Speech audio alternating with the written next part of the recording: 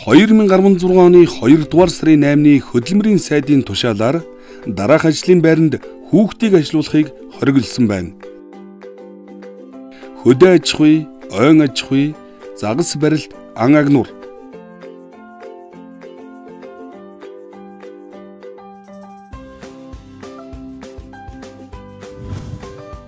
хог, хаягдлын менежмент болон цэвэрлэх үйл ажиллагаа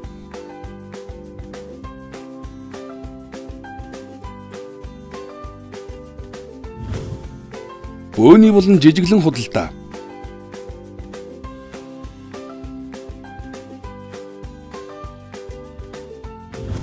Тээвэр ба агуулах үйл ажиллагаа. Зочид буудал, байр, сууц болон нийтийн хоолны үйлчилгээ.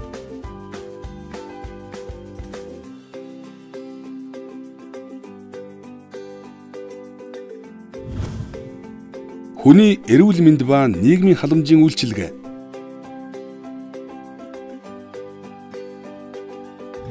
Жил бүрийн 11-р сарын 1-ээс 5-р сарын 1-ний хүртэлх хугацаанд хурдан морины уралдаан, сунгаа, үсрэгэнд хурдан морь унуулах, шөнийн цагаар болон арх согтуур улгундаагаар үйлчилж буй газарт соёлын болон циркийн ардын урлагийн үзүүлбэр үзүүлэх.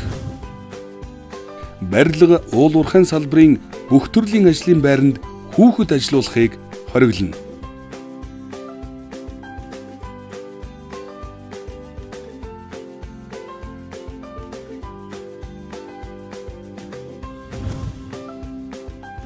Хүүхдийн хөдөлмөрт үгүй гэж хэлээ.